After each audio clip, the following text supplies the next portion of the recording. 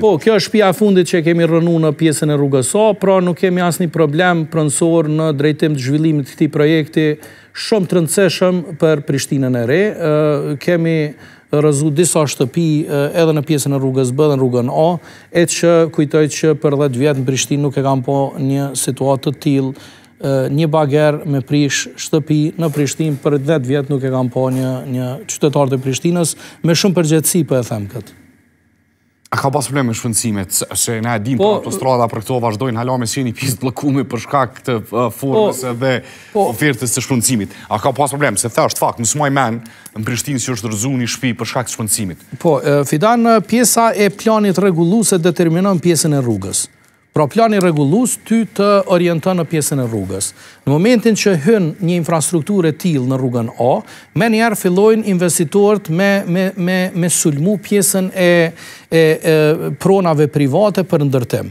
Pra marrëveshjet kryesisht janë me me investitorët, sepse ata menjëherë e marrin koeficientin e ndërtimit dhe fillojnë punën e vet në në ndërtimin e objekteve banesore. Kështu që për këtë arsye mund të them që kryesisht kështu janë zgjidh, por nëse nuk janë këto atëherë edhe pjesa e shpronësimit direkt është si opsion.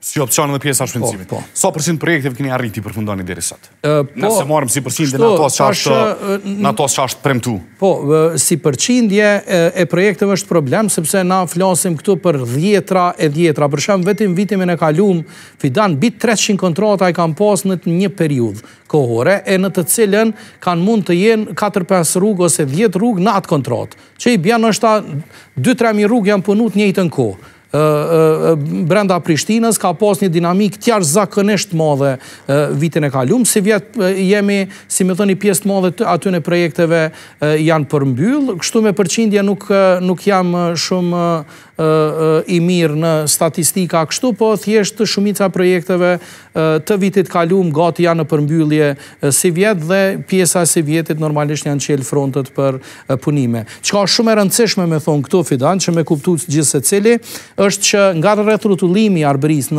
në rrethrrotullimin e Lakrishtes përmbyllet sivjet pjesa e unazës që është po ashtu një segment jashtëzakonisht i rëndësishëm, pra krejt komunikacioni aty do të zhvendoset një kahore do të jetë Dhe do ta ndron, unë kujtoj ndoshta tri katërdhjetë për qind të qendrës do ta shkarkon vetëm ky segmenti i i unazës t'qytetit.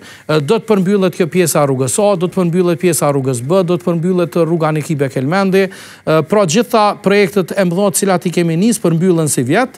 Një një projekt tjetër i rëndësishëm është i cili është në tenderim, e pastaj që tash i ka kalu drejtorisë transformimit, sepse e kemi bërë dhe një drejtori tjetër, është nënkalimi në rrugën Agim Ramadani, e cilja, e cila kujtoj që është një ndër projektet ma, ma specifike, sepse do të gjatë zhvillimit të punimeve do të mbyllet një segment në qendër të qytetit, e që është rrugë shumë e rëndësishme për Prishtinën. Kur konsideroni, kur, a, që do të arrini t'i përfundoni gjitha projektet? Por unë po them që projektet nëse menoni për projektet cilat i kemi premtu, cilat i kemi premtu, cilat i kemi premtu, projektet cilat i kemi premtu të gjitha janë projekt 8 vjeçar, nuk është projekt 4 vjeçar. Ndërsa këto që i kemi nis, atëherë këto të gjitha do të përmbyllen sepse nuk mund t'i lojmë si projekte... Këto që i përmendi deri po, po. më tani, që i përmendi, si i shoh edhe në postimin të Facebook... Po, po, këto shumica e këtyne projekteve do të përmbyllen, Fidan, shumica e këtyne... Rën aktiviti. Absolutisht, domethënë shumica e këtyne projekteve do të përmbyllen.